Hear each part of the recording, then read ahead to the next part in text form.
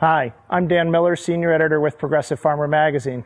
One of the great things about living in the country is that you're surrounded by nature, and you can do a lot of things with that nature. One of the things you can do is landscape with it. It's free, but it takes a bit of planning. We shot a video of a project we did down in Texas. We hope you take a minute to look at it. We hope you enjoy it, and if you have any questions, let us know.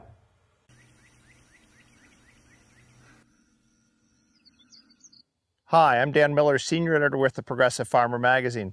Over the last few months, we've done a very special project, and that is we've restored a small piece of Texas Hill Country. Less than a year ago, this was a construction site, but with help from experts and a little bit of time, we've returned this piece of land to its natural state. This is what the ground looked like in the beginning. The grass was beat down. There were no native flowers. You could have mowed it off, planted some water-thirsty plants, or even put in grass, but we decided to go another way. Well, it's fall now, and you can see all the grasses have turned brown. There is no flowers, but you can see how much this has grown up over the last few months. Let me show you how this all got started.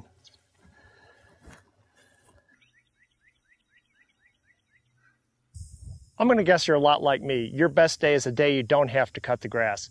Well, out here, a lawn wasn't even appropriate. It's just too dry. So we tried something else. We call it landscaping with nature. Basically, what we did is keep the construction traffic off, and then we let this area regenerate itself and we're kind of letting nature do what it's going to do here. So instead of digging up this ground, we left the native grasses, flowers, and the trees in place. What we have here is an acre in front of the home that requires no watering, no fertilizing, no pest control, and only one mowing a year. For space in front of the home, it looks different. There's no doubt about that. But we're convinced this area is vital in helping the home blend into this part of the Texas Hill Country. We've identified 40 different kinds of grasses and flowers like this prairie verbena. There's a lot going on here, but there's a couple things I want to show you. First are these grates. What we did is put the grates down over plants that we wanted to keep. These keep the deer off the plant. The deer don't like to step on the grates, and so far they're working pretty well. The other thing I wanted to show you is something called a nurse plant, and that's what the cedar acts as here. The deer don't like to poke in and around this plant. So what happens is you get more desirable plants like this one. This is called an Eve's necklace. It's able to take hold and grow, and the deer won't eat it.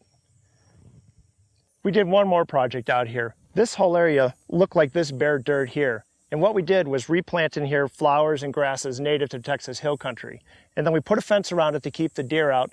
And then we just let nature take over. And you can see the results are pretty spectacular. Okay, that's the project. Let me go over one more time what we did. This property was a construction site for 10 months, but on one acre we did these things. We replanted and reseeded native stock. We protected especially valuable plants, we left in place as many trees as possible. This is also a great place for deer and other native wildlife. We hope you're inspired by what we've done here. Yes, this is a different look, but we wanted to bring the Texas Hill Country right up to our front door, and we think this is a wise use of our land. You can find help in doing a project like this anywhere. Experts known as master naturalists offer help on projects protecting and restoring native habitat. There are also the local offices of the Extension Service and the Natural Resources Conservation Service.